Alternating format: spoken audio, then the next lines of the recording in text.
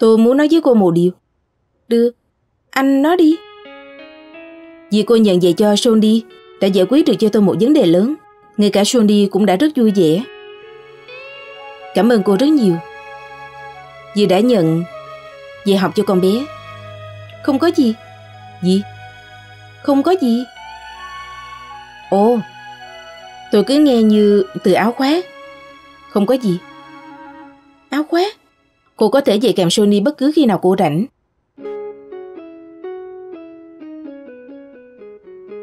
Tôi quên mất một vấn đề quan trọng khác.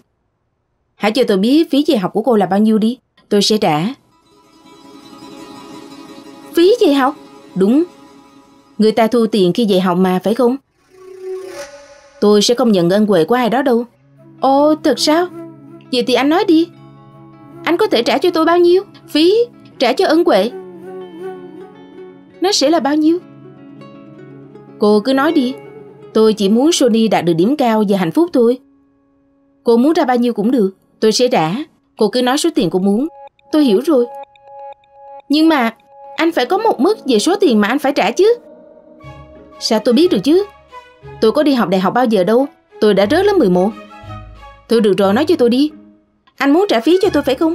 Đúng. Bởi vì anh, vì kết hôn với anh mà tôi đã bị quỷ hoài cả cuộc đời tôi. Anh có thể sửa đổi nó được không? Nào trả lời đi. Anh trả bao nhiêu? Cho cuộc đời của tôi đi. Chúa ơi, không nhận ơn huệ sao? Hai chuyện này thì có liên quan gì đến nhau chứ? Tại sao cô cứ luôn nghĩ đến những việc vô nghĩa gì chứ? đi đây là vô nghĩa sao? Sao cô lại nói điên rồi? Tôi đã nói sự thật thôi mà, một câu hỏi đơn giản thôi. Anh gọi đây là câu hỏi đơn giản sao?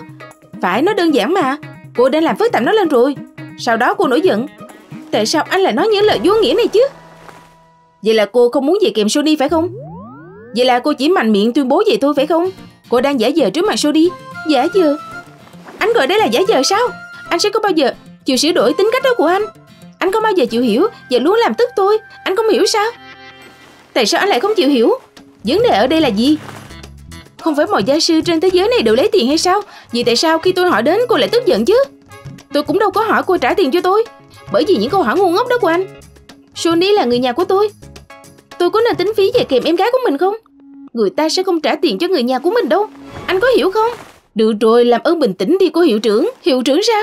Bình tĩnh, bình tĩnh đi. Nói chuyện với bà cô như cô, giống như là đá phải tổ ông vậy đó. Vậy thì đừng đá vào tổ ông này nữa. Tôi đã kêu anh chọc tức tôi hay sao? Tôi có kêu anh đến đây để hỏi không? Được rồi bình tĩnh, bình tĩnh đi. Tôi sai rồi. Xin lỗi tôi đã yêu cầu trả phí cho cô. Xin hãy tha thứ cho tôi. Đây là... Đây đây. Đây, quần áo của cô đi. Chúng sẽ nhậu hết đó, làm ơn đừng ném nữa. Bây giờ dọn dẹp lại đi quý bà. Tên mù chữ Anh ta làm loạn căn phòng của mình lên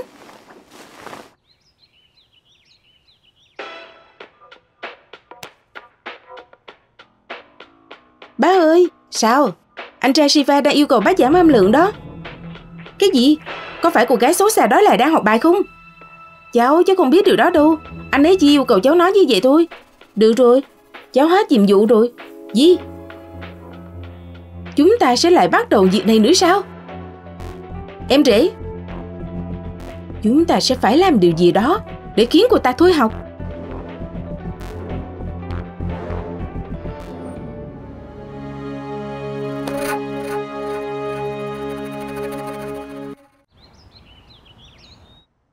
Vì vậy chúng ta bắt đầu chứ Dân Đầu tiên chúng ta sẽ bắt đầu với chủ đề Và bài học mà em cho là khó đó Được Sono, hãy đặt ra quy tắc cho chính mình. Chị sẽ dạy cho em một giờ. Nhưng em sẽ phải học nó trong những giờ còn lại hiểu chứ? Nếu như có bất kỳ vấn đề gì hoặc nếu như em gặp khó khăn thì hãy đến hỏi chị. Chị sẽ giải thích cho em tất cả. Nhưng em sẽ phải tập trung vào việc học của mình. Học tập không dễ dàng một chút nào. Đôi khi nó rất nhàm chán. Nhưng chúng ta sẽ phải nỗ lực gấp đôi để vượt qua nó Được rồi hãy theo giáo trình nào. Chủ đề đầu tiên trong giáo trình của em là gì? Hamlet của Shakespeare. Em đã nói gì chứ? Hamlet của William Shakespeare. chúng ta biết chúng ta là gì, nhưng không biết chúng ta có thể là gì. Điều này có nghĩa là chúng ta biết chính xác những điều chúng ta đang có ngày hôm nay, nhưng không ai biết được chúng ta có thể trở thành gì vào ngày mai. Ôi Chúa ơi! đi cũng biết cười sao? Một mặt khác, hai phút trước cô ta chỉ mới chiến đấu với mình như một con mèo. Cô ấy mắng mình. Nhưng với Sono cô ta lại hoàn toàn khác. Thật về sao?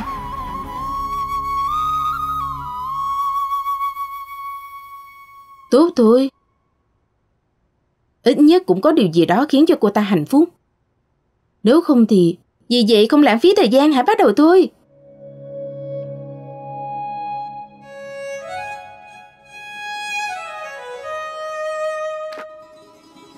Một điều nữa Sono. Trong khi chúng ta đang học bài, chị không muốn có sự hiện diện của một người thứ ba nào đó. Nó làm cho chị mất tập trung đó.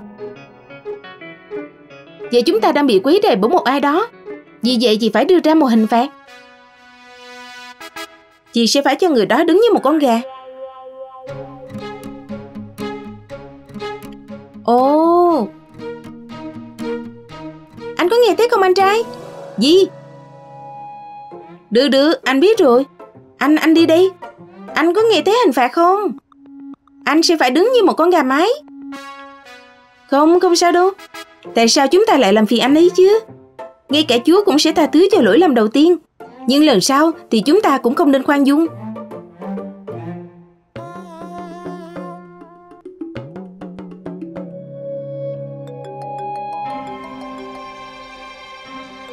Em học bài trước đi, chị sẽ đi nghe điện thoại, được chứ?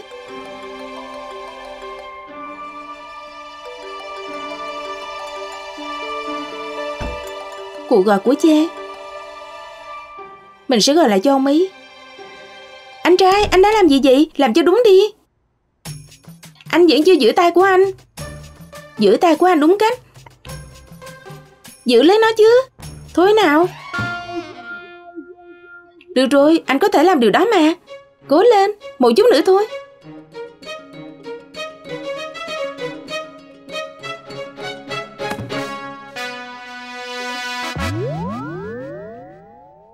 Sono, em đã làm gì vậy? Shiva, tại sao anh lại ở đây? Đứng lên đi. Chị ơi, anh ấy đã phạm sai lầm, anh ấy nên chịu phạt chứ. Dù chị có nói gì, anh ấy cũng sẽ trở thành một con gà mái. Sono, Dừng lại đi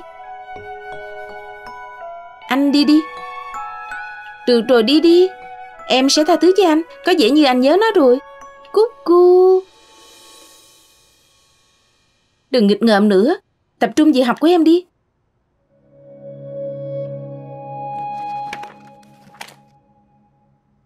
Chuyện gì đang xảy ra ở đây? Có chuyện gì? Mẹ! Cô đã tát con trai của tôi ngày hôm trước. Vậy cô đã nói gì? Cô không hề có ý. Vậy hôm nay, cô đã bán nó làm gà mái. Là thế nào đi Không, con không làm điều đó. Mẹ ơi, chúng con chỉ là đang đùa thôi. Có ai đùa kiểu này với anh trai của mình không? Cô sẽ khiến chồng mình như một con gà mái để đùa giỡn sao? Vậy đấy là gì? Tại sao có nhiều sách vở như vậy chứ? Cô đang thu gom đống rác rưởi này làm gì? Mẹ ơi, con đã thi rớt. Đó là lý do tại sao chị Si đi vậy con. Đây là những cuốn sách của chúng con. Mẹ đã bảo con nghỉ học rồi mà. Không ai trong ngôi nhà này cần phải đi học hết. Tôi nhắc lại một lần nữa. Không ai trong ngôi nhà này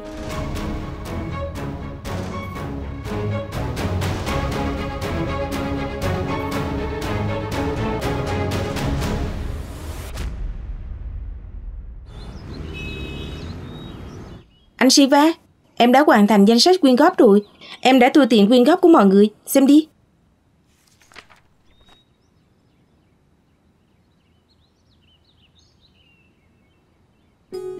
Này, anh Shiva, có chuyện gì vậy? Xin chào. Anh muốn hỏi em vài điều, anh nói đi. Thực ra, ngay cả sau khi anh đã cố gắng hết sức, nhưng anh vẫn không thể tìm được một công việc phù hợp. Em có thể giới thiệu cho anh một công việc gì đó được không? Nhưng anh Saga, anh là một người có học thức. Anh sẽ sớm tìm được một công việc ổn định thôi. Công việc tốt đều bị mất do Covid Anh đã đấu tranh rất nhiều lần rồi. Anh đã cố gắng hết sức, nhưng dường như không có ích gì. Giờ đây, anh đã trở thành gánh nặng cho gia đình rồi. Shiva, em làm việc cho Akabai phải không? Rất nhiều người đã làm việc cho bà ấy, làm ơn hãy giới thiệu anh. Hãy tìm cho anh một công việc ở đó, vậy em có thể trả cho anh bao nhiêu tùy thích. Làm ơn. Được rồi, anh Saga, em sẽ xem thử, nếu có công việc em sẽ gọi cho anh. Cảm ơn.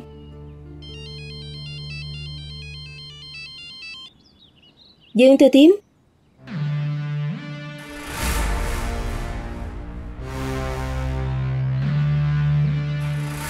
Chị dâu, chị dâu, chị đang làm gì vậy? Này, tôi không có quyền trút giận lên những con người trong ngôi nhà này sao? Ai là chủ của cái nhà này chứ? Tôi là gì của cái nhà này chứ?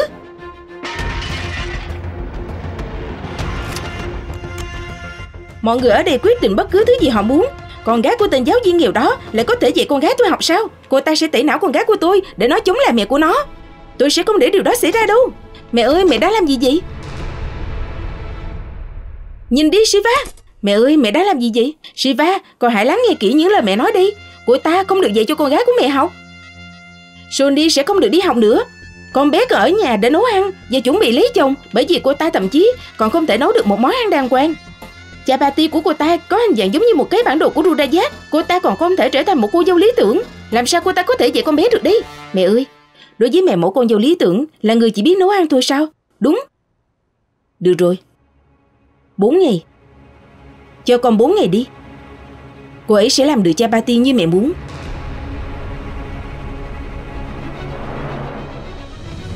Cha Patty của cô ấy sẽ mềm mại Gia sẽ được mọi người yêu thích Nhưng nếu như cô ấy làm điều này, Cô ấy có thể dạy Sondi phải không Sau đó mẹ không được phản đối việc học của Sondi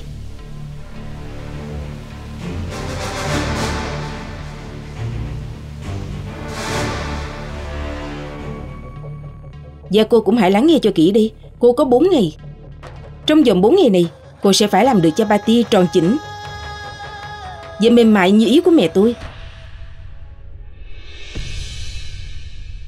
Sau đó cô có thể dạy cho Sony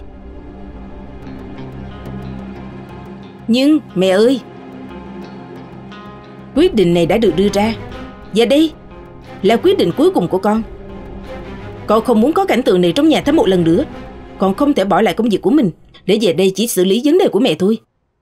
Nếu mẹ còn làm vậy thêm một lần nữa, Con sẽ không để yên đâu.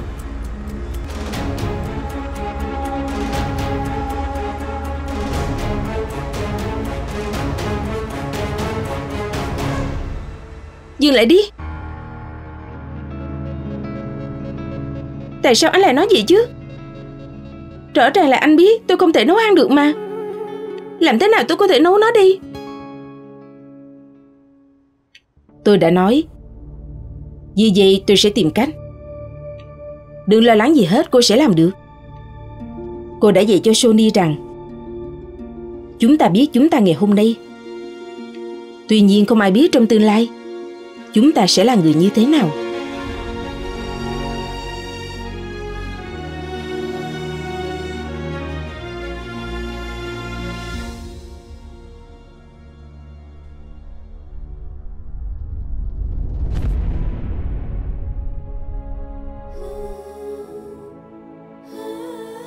Tại sao anh ta lại có tự tin để nói như vậy chứ?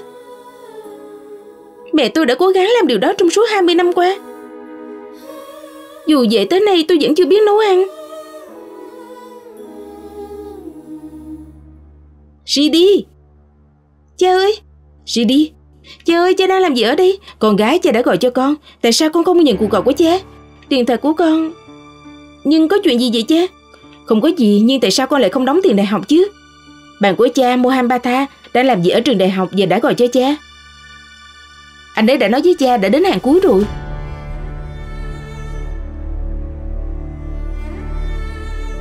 Cha ơi Khi con đi đóng tiền Trường đại học đã rất đông. Vậy sau đó con bị cách ly. Một sai lầm nhỏ có thể cướp đi cả năm học cố gắng của con đó. Bây giờ con không thể xuất hiện trong kỳ thi tuyển sinh được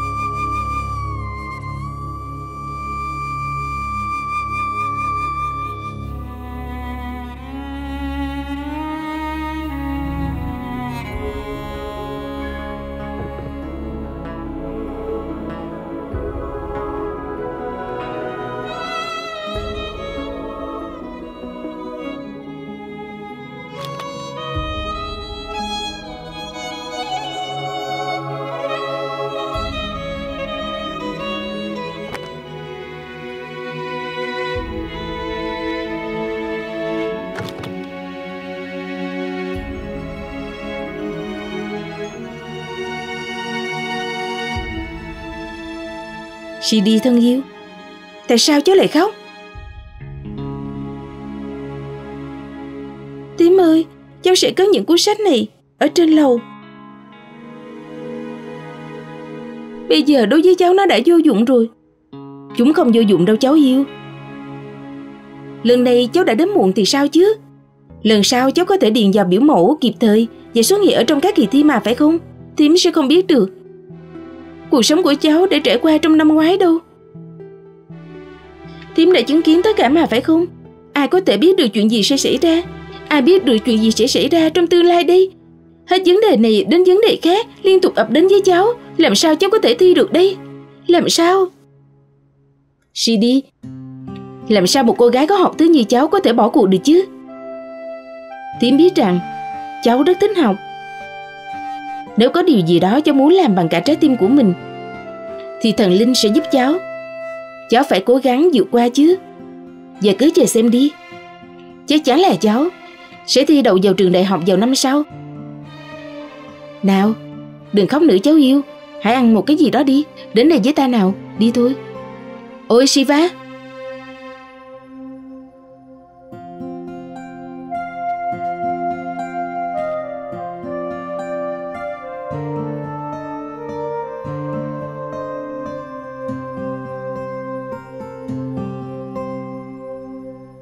Tôi... Tôi mang thứ ăn đến cho cô.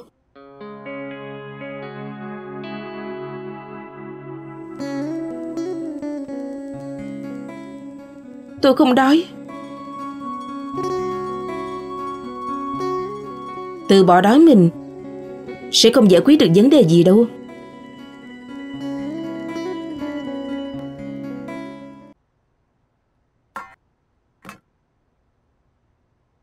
Nghe đi, chúng ta đã đến Budi để đăng ký cho cô học. Nhưng vào ngày đầu tiên, cô đã quên mang theo giấy tờ và quầy thu ngân đã đóng cửa. Vào ngày thứ hai, cô ở trong bệnh viện. Còn tôi thì lại ở trong đồn cảnh sát. Sau đó tôi đã trở lại đây mà không có cô. Nếu lúc đó tôi không trở về làng mà ở lại đó đóng tiền học cho cô, thì đã không xảy ra chuyện này rồi. Đó là lỗi của tôi. Đáng lý ra tôi nên làm việc đó. Xin lỗi tôi đã không thể Nếu họ chấp nhận khoản phí cũng như biểu mẫu thì chúng ta sẽ không gặp vấn đề gì. Và chúng ta cũng không thể thay đổi quá khứ. Nhưng chúng ta có thể thử lại. Chúng ta có thể xử lý chính đáng mà phải không? Chúng ta không thể đóng kịp vì chúng ta có những vấn đề. Nếu như họ chấp nhận, ngay bây giờ tôi sẽ đến đó và đóng nó. Tôi sẽ làm bất cứ điều gì họ muốn. Trong trường học phải có nguyên tắc riêng. Và mỗi trường đại học có một giới hạn cuối cùng của nó. Ngay sau đó, họ sẽ không chấp nhận bất cứ hình thức nào khác. Vấn đề của chúng ta sẽ không cản trở quy tắc của họ. Không phải chính phủ đã cho rằng mọi người nên đi học sao? Vì tại sao họ có nhiều quy tắc như vậy chứ? Ngày mai tôi sẽ đến trường của cô. Và tôi sẽ nói chuyện với họ. Tôi sẽ đến đó và đóng một phí cho cô. Nếu niềm đam mê của cô là thực sự, cô không thể thua trước bất kỳ thử thách nào. Ngay cả tôi cũng như vậy. Phương chăm sống của tôi là vậy mà. Và tên tôi là Shiva. Khi mọi người bỏ cuộc, họ sẽ kêu gọi sự giúp đỡ của tôi. Vậy thì bây giờ hãy để tôi giúp đỡ cô đi.